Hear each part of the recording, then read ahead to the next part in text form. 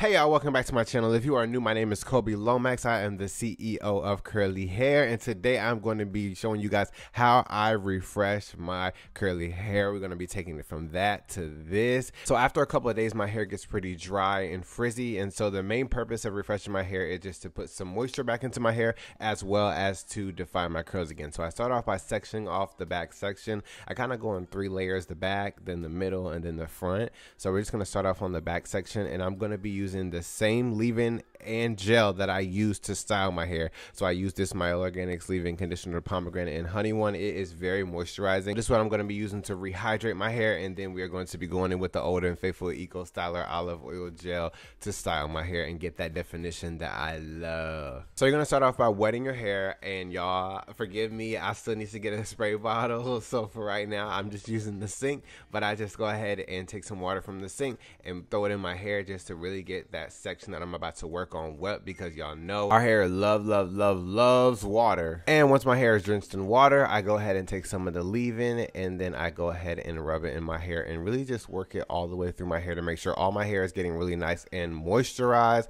And like I said, I really love this leave-in. It was very moisturizing, had a really good slip, and it just made my hair feel so, so soft. And I really appreciate it. I feel like it really had my back. You know what I'm saying?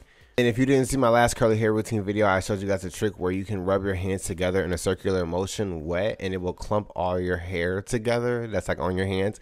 And so I do that too during this process because when I am refreshing my hair, I do have a little bit of shed hairs come out and so that they don't go down your drain and clog your drain. And now you got to call a plumber, you got to call maintenance just go ahead and do that thing and get it out. You know what I'm saying? Yeah, as you guys can see, I'm just working the gel in my hair and I'm kind of like gliding it over my hair or like almost like squeezing it over my hair. I don't know if squeeze is the right term, but it's like just don't too roughly comb your fingers through your hair because it kind of like combs the curls out. You know, you kind of want to be gentle with it, I feel like you kind of get the flow when you're doing it, but I also, if you guys notice, I keep adding water because I feel like when you want your natural curl pattern to pop, you really want to have more water, like have your hair super wet because I feel like the more wet your hair is, the more your natural curl pattern can sort of shine, as opposed to if you are trying to do something like finger coils or something that is a little bit more manipulative of your hairstyle, then you want to use less water because then your hair is not trying to like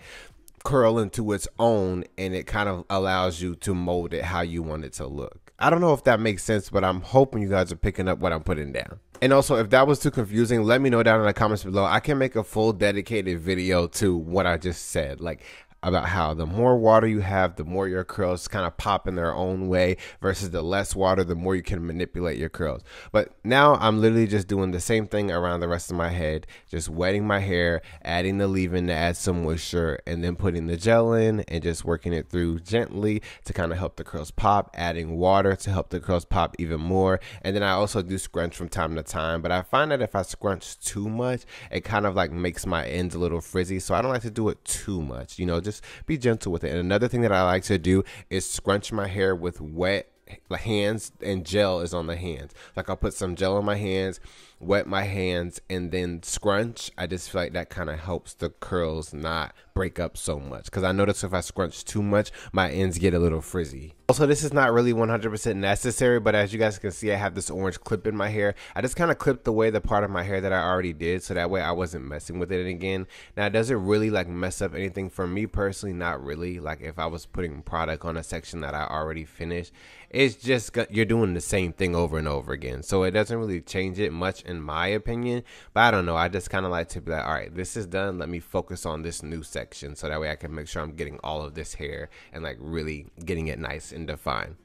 But yeah, and then I just continue this over the rest of my head. I can definitely say that refreshing my hair when I'm wearing it like this in my more natural curl pattern, it is a lot easier to and quicker to do my hair and it is a lot easier to refresh my hair. I can say though, when I do the finger coils, it's a lot of work on the first day, but it lasts me all week. Where when I do my hair like this, it lasts me about three, four days before I need to refresh it again. And then I'll normally wash it every Sunday. So anything we they do, I they try to do from me. Plenty, plenty, plenty so suffer we be face. Just to make sure money day. But my people then go say I know one die, I know one die, I know one time. I want enjoy, I want job life, I want buy motor, I want build house, I still want to know.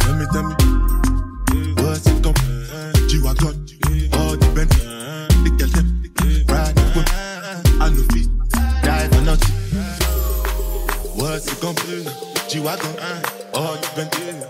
The gal, uh, ride with me. I know.